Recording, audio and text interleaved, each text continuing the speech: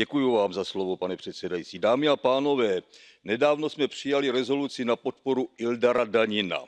Byl v roce 2015 odsouzen na tři roky vězení za veřejný pokojný protest proti válce.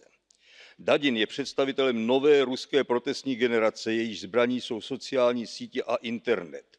Před 20 lety používala v Rusku internet jen asi 2% populace.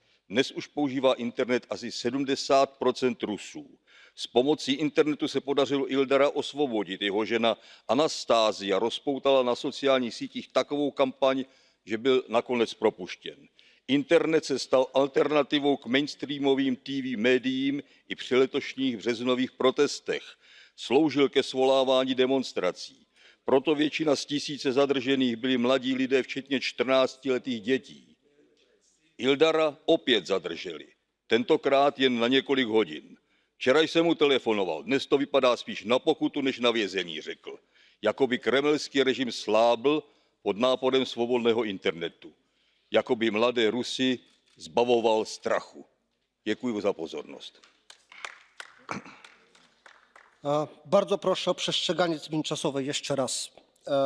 Do you accept blue card? E, Czy pan przyjmie niebieską kartę?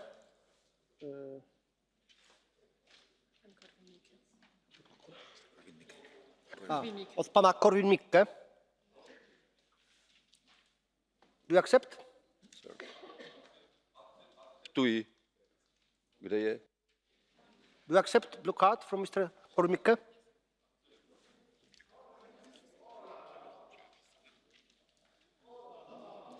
Yes or no? ano, an, Yes. ano akceptuji pane předsedo. Okay. Mr. Korwin Mikke. Only one qu- short question. Have you ever heard about the clan of Mr. Igor Sechin, the president of Rosneft?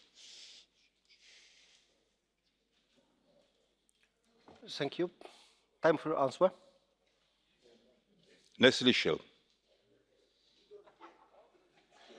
Just one question, Mr. Korwin-Mikke. Just one question. to je všechno. děkuji.